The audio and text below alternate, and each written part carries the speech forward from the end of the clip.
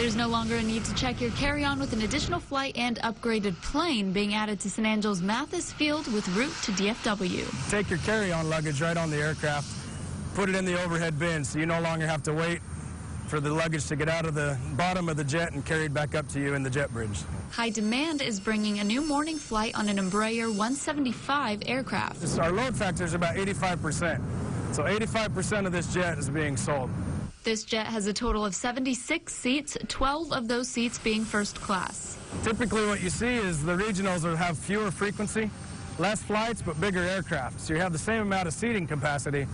So we're unique that we're getting more frequency and more capacity.